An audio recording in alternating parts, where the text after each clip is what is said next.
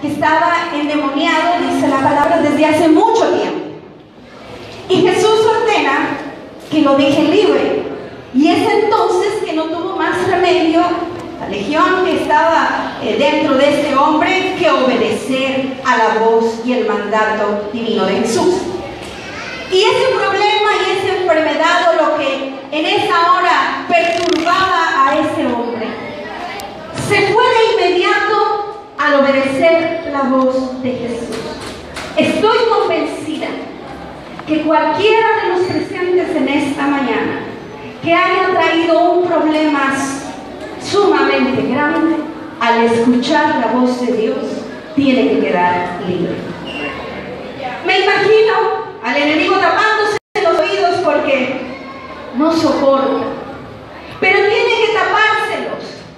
Pero aunque se los tape, tuvo que obedecer y pedir permiso para salir. Ese es el Dios que tenemos. Tiene autoridad sobre todos y sobre todo. Que hasta los demonios tiemblan y le obedecen a.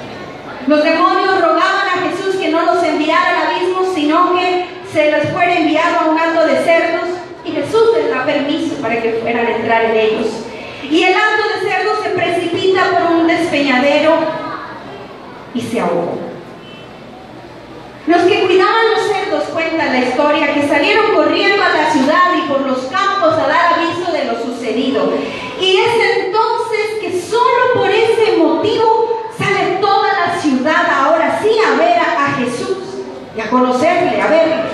Pero no para ver el milagro que había sucedido en ese hombre, ni para alegrarse porque el alma de aquel individuo quedó libre, sino para que se fuera me da la impresión que ya estaban acostumbrados de verlo así. Ya no les daba miedo quizá a algunos verlo en esa condición que era terrible. No había cómo encadenarlo porque se rompían los yugos, dormía en los sepulcros.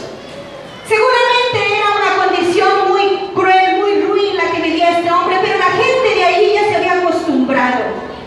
Recuerdo la iglesia donde conocí al Señor, llegaba un hombre sucio, maloliente, con un culto muy grande sobre sus hombros y siempre se sentaba al último. Parecía que su mente se había deteriorado por el consumo del alcohol y de las drogas, pero siempre llegaba a la iglesia y cuando alguien era nuevo y llegaba y como que escondía la cartera y como que olía y como que se pasaba por otro lado, pero resulta que conforme pasaban los días uno ya se acostumbraba a la presencia de este hombre. Es más, cuando ya se sentía el olor hacia adelante sabíamos que ya había llegado.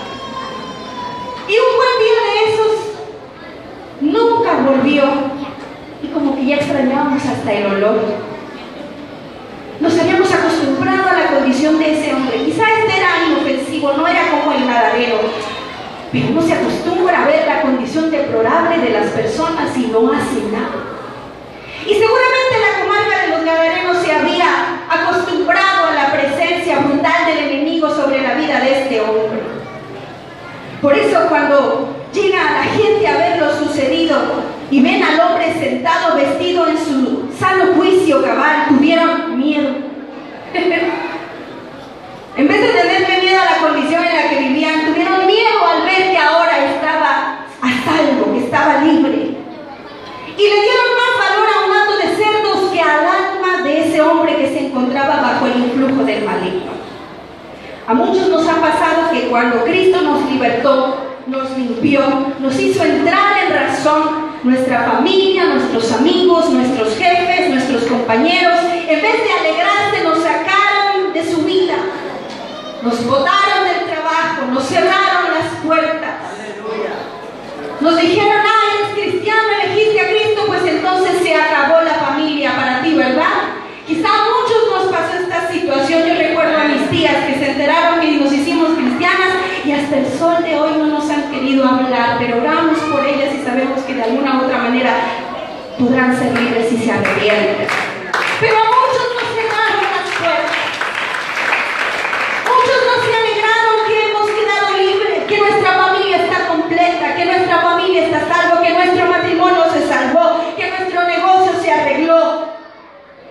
Y en vez de recibir a Jesús, ahora los gadarenos lo quieren botar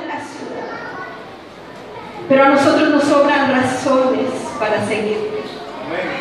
Y aunque nos hayan cerrado las puertas, seguiremos publicando cuán grandes cosas ha hecho Dios con nosotros, así como lo hizo el Gadareno. Y ahora los que nos escuchan se maravillan porque el poder de Dios es grande.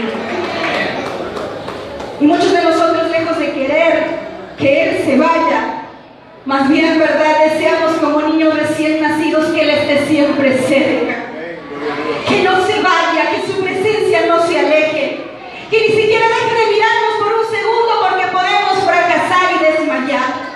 Porque hemos entendido que sin Él no hay razones para vivir. ¿Cómo le vamos a pedir que se vaya si más bien lo necesitamos para todo? Estoy consciente que en algún momento dado mi hija se casará.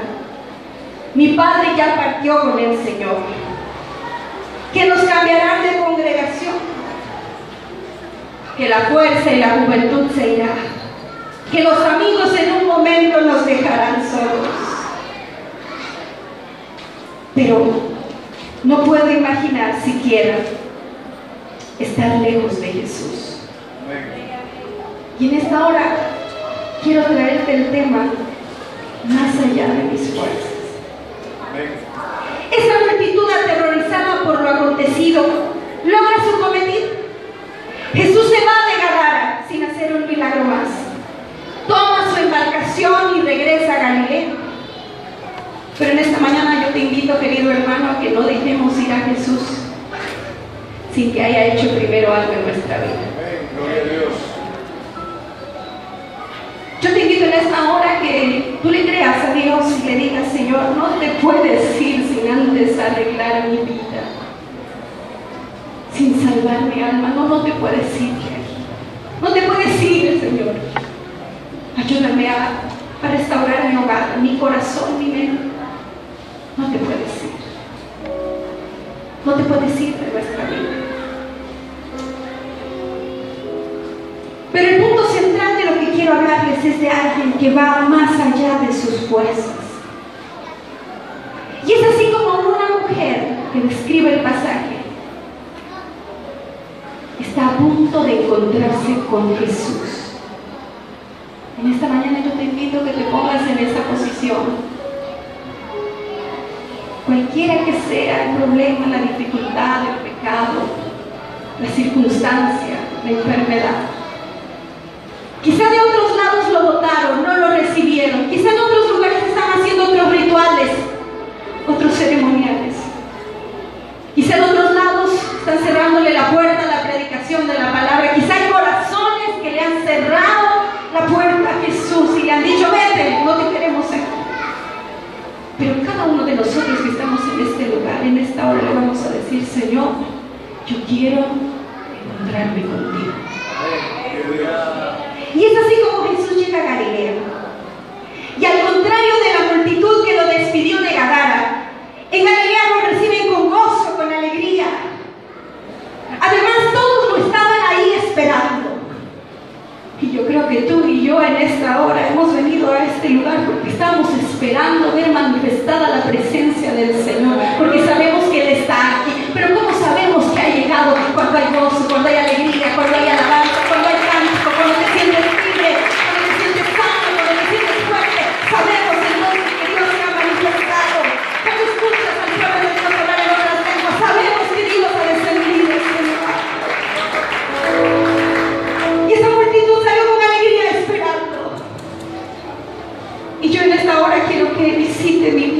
corazón, mi mente. Y no solo que la visite, sino que venga a tomar el control absoluto de todo lo que soy. Que de una vez por todas tome mi corazón, mi vida. Y no sé si sea tu sentir. Espero que sí. Aún estaban en la orilla, cuenta la escritura. Y llegó el principal de la sinagoga llamado Jairo, un hombre muy importante, religioso desde entonces. Y postrándose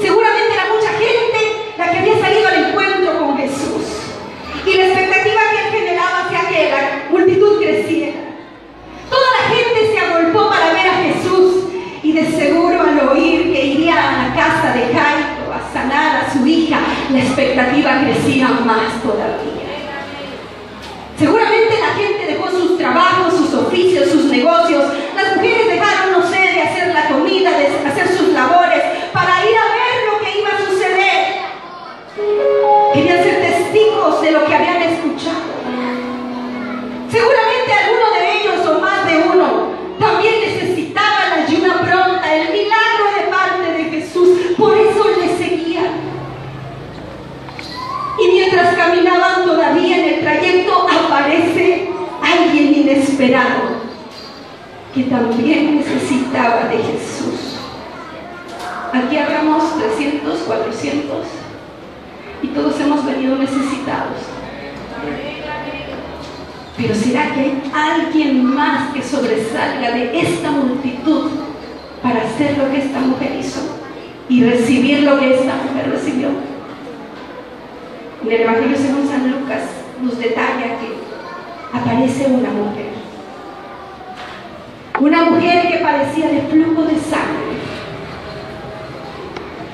Desde hace 12 años había gastado en médicos todo cuanto tenía.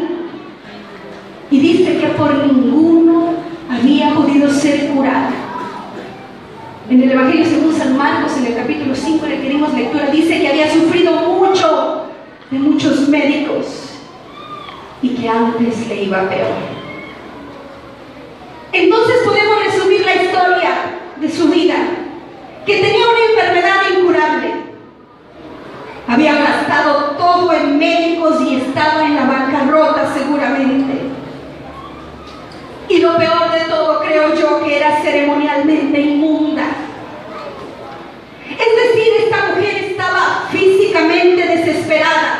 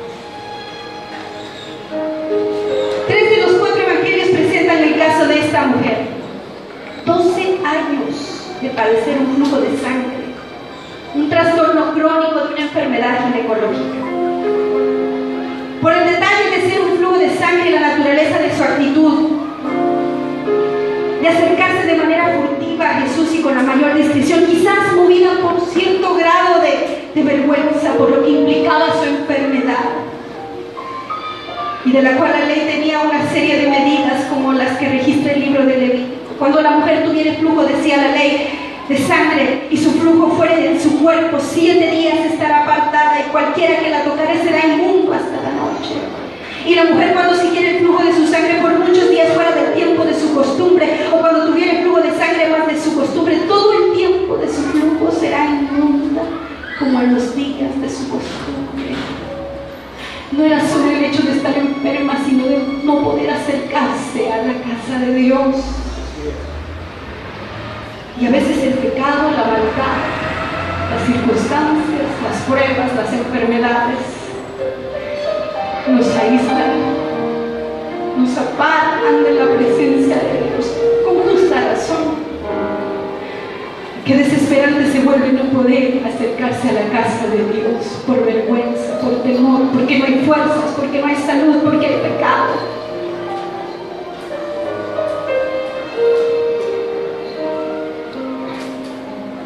Debe haber sido una hemorragia muy grande.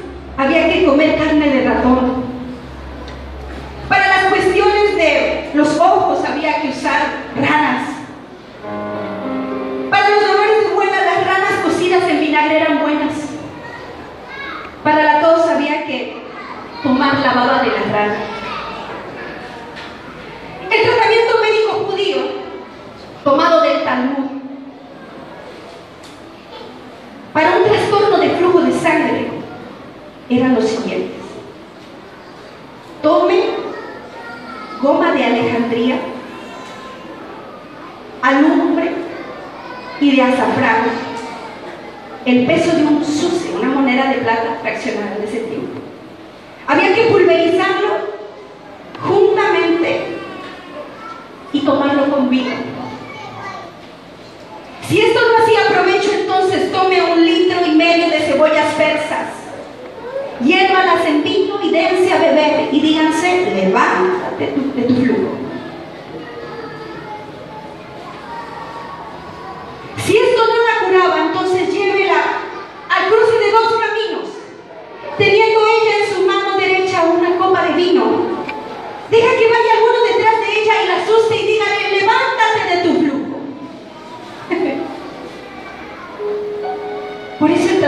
que ella usaba era caro. Había que traer de Alejandría, había que traer cebollas de Persia, había que conseguir animales de toda India. Y estaba cansada de hacer todo esto.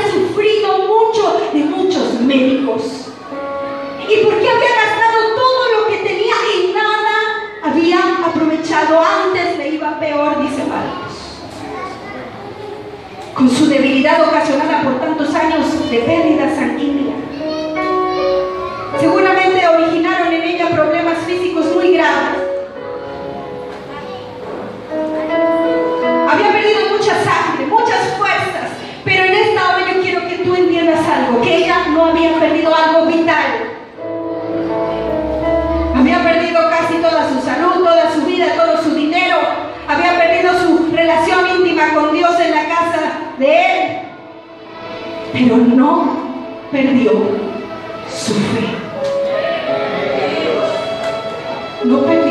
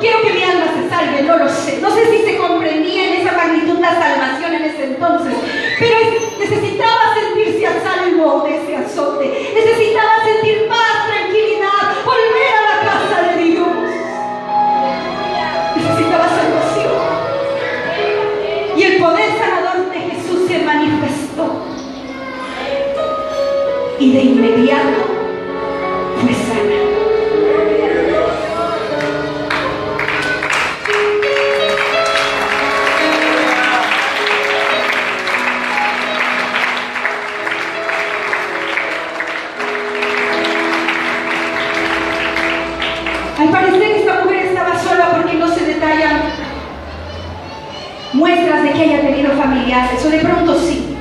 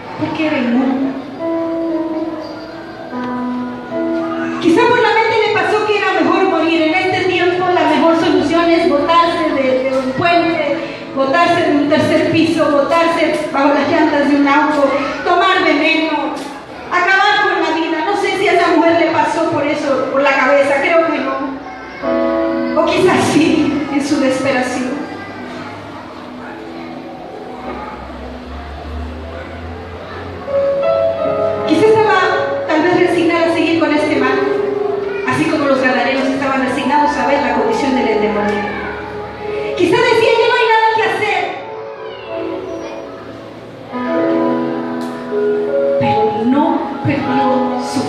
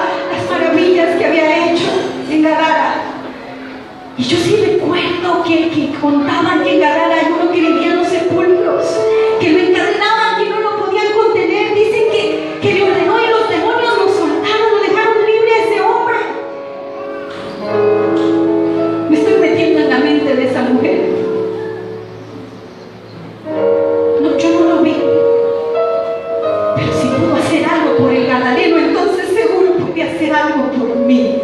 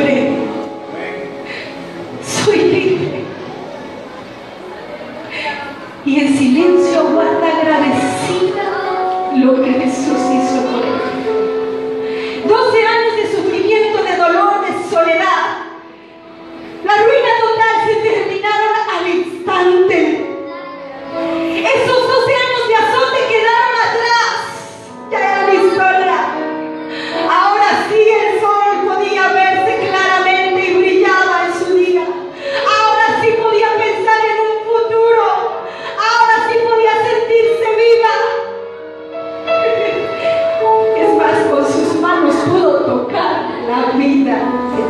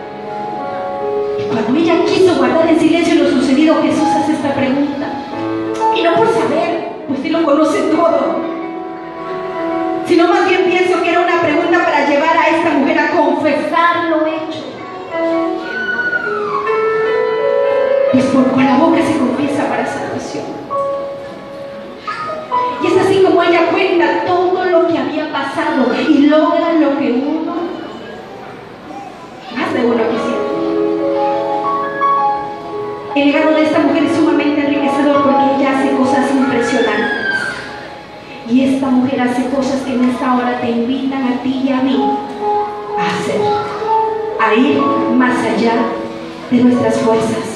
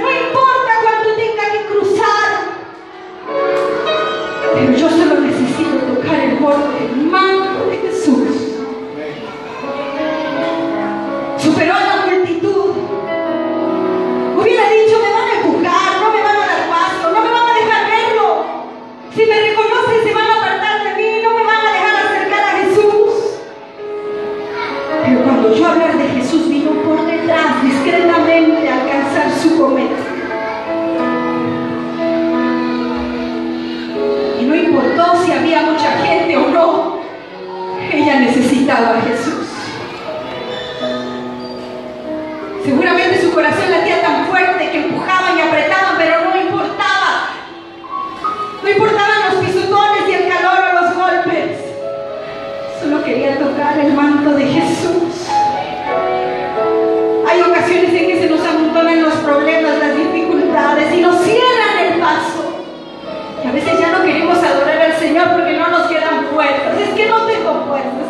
qué no me?